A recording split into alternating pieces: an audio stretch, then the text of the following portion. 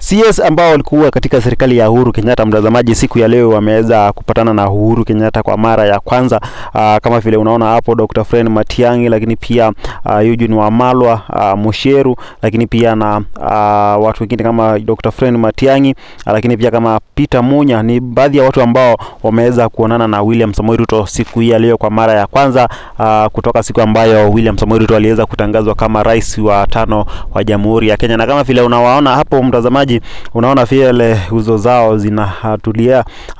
hawajui uh, wanakuja kuambiwa nini, pengine kazi itakuwa inaendelea ama pengine William Samoei Ruto ataweza kusema kwamba kazi iendelee ama waendelee na kufanya kazi katika minista ambazo walikuwa wanazifanyia kazi, lakini hatujui, tutakuja kujua kwa muda mfupi tu ambao uh, meeting hii itakuwa inakamilika na tutakuwa tunajua uh, kila kitu ambacho kitakuwa kinafanyika. Mimi najulikana kama Jitani, lakini tunaendelea kufuatilia hii story, tutakuwa tunakueleza kila kitu mwanzo mwisho, uh, nini ambacho kiliweza kutokea siku ya leo hapa baada ya Ruto kukutana nao si